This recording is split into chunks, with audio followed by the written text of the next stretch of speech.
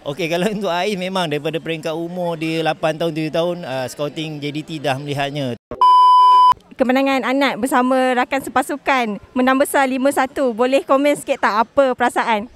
Uh, sudah pastilah perasaan sebagai uh, bapa begitu gembira eh, dengan prestasi pemain-pemain Harimau Muda kita uh, di mana mereka telah menunjukkan satu komitmen yang luar biasa dan kita dapat lihat juga bagaimana mereka mempraktikkan apa yang telah mereka pelajari dengan uh, filosofi bola sepak yang telah diterapkan di peringkat akar umbi lagi dan mereka bawa sehingga ke peringkat uh, remaja. Dan ini satu petanda positif yang mana kita ingin melihat uh, pemain-pemain remaja kita mempunyai uh, kekuatan dari segi mental dan fizikal yang boleh memberi saingan kepada pasukan-pasukan yang mempunyai kekuatan tersendiri macam kita tahu Indonesia yang begitu kuat di laman mereka tapi dengan ada keinginan dan keazaman yang tinggi itu mereka telah berjaya melakukan dan membuktikan bahawa Malaysia boleh.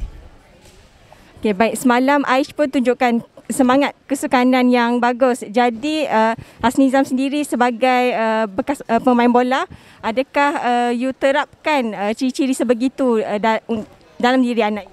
So itu salah satu ciri apabila dia ingin menjadi seorang pemain bola sepak di mana mereka perlu sentiasa humble, uh, perlu sentiasa menghormati lawan dan rakan kerana kita tahu dengan bola sepak ini akan menyatukan walaupun dalam keadaan down tapi dia berjaya memujuk hati rakan-rakan daripada negara seberang untuk uh, tidak meratapi kesedihan kerana bola sepak itu adalah perpaduan dan ini telah dibuktikan oleh Ais sendiri. Okey, Aish uh, dah layak ke uh, Piala AFC. Jadi lepas ni mungkin untuk Aish ada tak uh, target nak ke mana-mana kelab ke selepas ini? Uh, so far dalam perancangan tiada lagi kerana dia masih ada lagi uh, 4-5 tahun bersama dengan AMD biarlah dia menghabiskan masa di Akademi Motadari kerana kita tahu di situ banyak uh, persediaan dilakukan dan uh, saya inginkan dia terus belajar dan belajar dan belajar. Kerana dalam bola sepak kita perlu hari-hari belajar.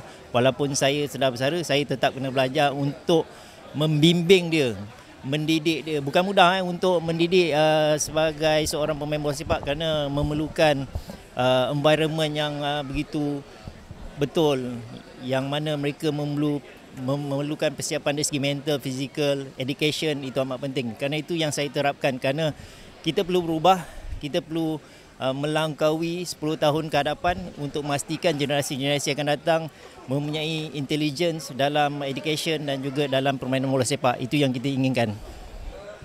Okey, baik. Uh, soalan terakhir, uh, Hasni Zam sendiri pernah beraksi bersama Johor. Jadi ada tak keinginan nak tengok Aish sendiri bermain untuk JDT uh, selepas ini?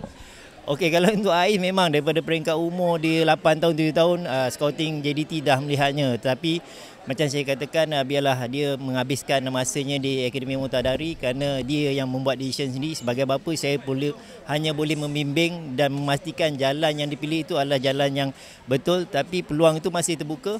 Saya kira sebagai anak Johor memanglah saya inginkan uh, dia kembali ke Johor. Tetapi macam saya cakap itu adalah pilihan dia kerana dalam bola sepak dia perlu membuat keputusan dia sendiri. Dan sekiranya ingin menjadi bagus dia juga yang perlu membuat keputusan dia sendiri. Okey baik, eh, terima kasih.